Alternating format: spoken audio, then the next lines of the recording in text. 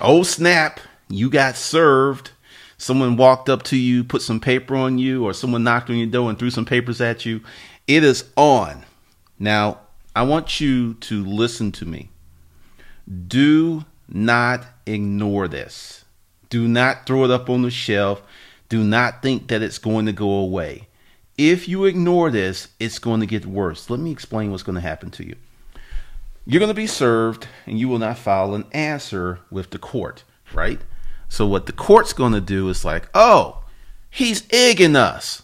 All right, fine. What you want, Miss Such Such? You got it.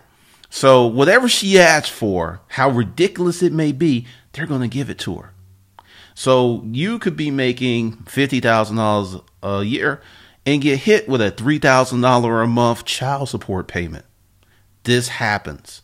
And then, since you didn't answer it and you're ducking and dodging, they're going to garnish your check. And then, oh, since you it's the arrears is so high, you're already in arrears, so they're going to hit your checking account.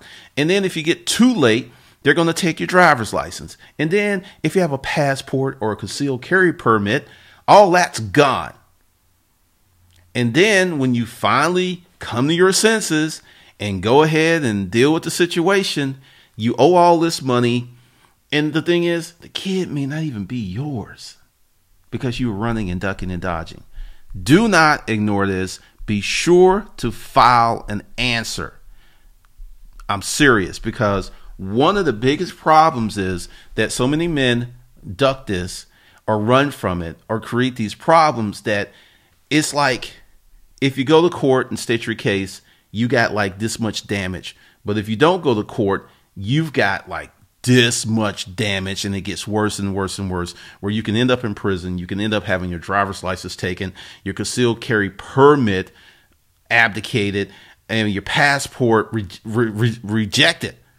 They can dispossess your passport for this stuff. So this child support thing is really really deep and you got to be on your p's and q's